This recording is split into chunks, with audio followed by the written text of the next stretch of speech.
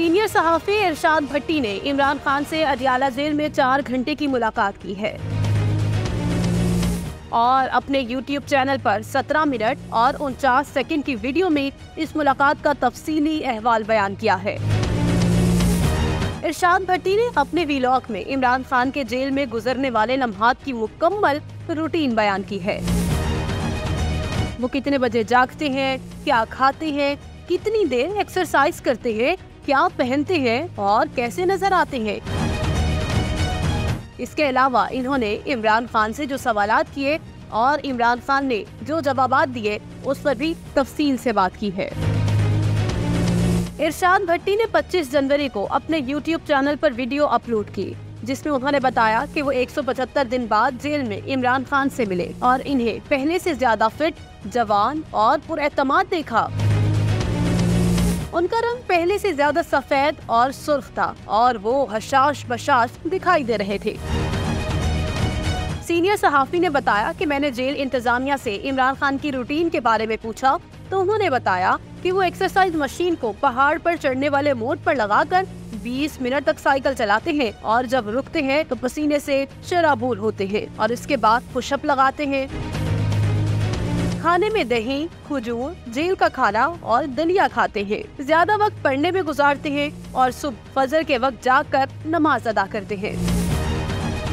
इरशाद भट्टी ने ये भी बताया कि इमरान खान जब जेल के कमरा अदालत में आए तो उनके हमरा पुलिस वाले थे और मुझे बिल्कुल वही मंजर याद आ गया जब वो वज़ीर आज़म थे।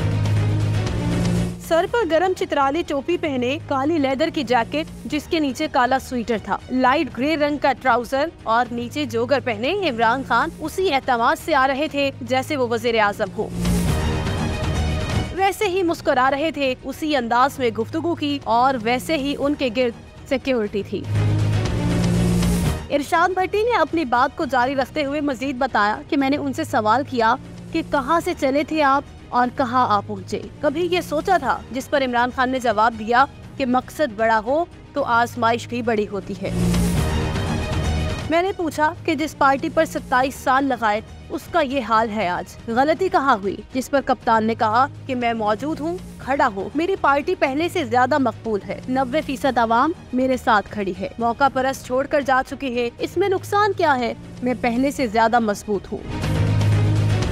इसके बाद इरशाद भट्टी का कहना था कि मैंने अपना फेवरेट सवाल पूछा कि कौमी असम्बली से निकलकर और सूबाई असम्बली तोड़कर आपने गलती की, जिस पर इमरान खान ने कहा कि कौमी असम्बली से इसलिए निकला क्योंकि मेरे साथ धोखा हुआ था और मैं आवाम के पास जाना चाहता था। दोनों सूबाई असम्बलियाँ मैं ना तोड़ता तो कोई और तोड़ देता, जैसे गिलगित बल्दिस्तान और कश्मीर असम्बली तोड़ी गई मेरी पीठ में छुरा घूमपा गया, हाथ पाँव बांधकर मुझे आग में झोंका गया।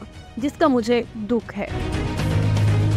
इरशाद भट्टी ने कहा कि इमरान खान ने मजीद कहा कि झूठी मेडिकल रिपोर्टों पर बाहर नहीं जाऊँगा और डील नहीं करूँगा। सियासत नहीं, जहाद कर रहा हूँ।